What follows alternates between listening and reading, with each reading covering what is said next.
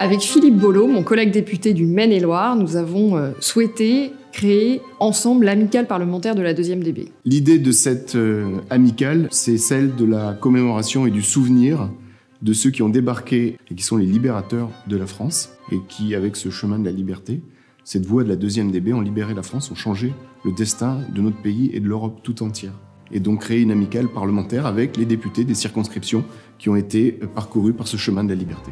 Nous avons organisé à l'Assemblée nationale la diffusion d'un film de documentaire intitulé Le gars des Calouins. Qui raconte justement l'histoire d'un de ces jeunes qui a tout laissé tomber pour euh, s'engager et contribuer à la libération de la France et de l'Europe.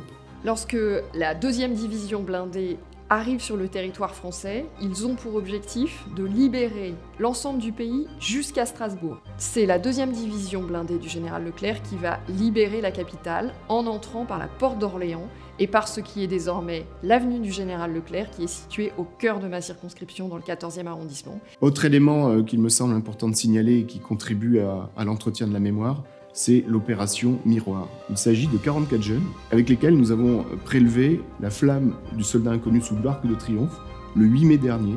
Et cette flamme, elle a ensuite rejoint, en suivant le chemin inverse de la voie de la liberté, la Normandie, pour traverser la Manche et arriver à Southampton, où euh, Eisenhower a eu le commandement de, de, toutes les opérations du débarquement.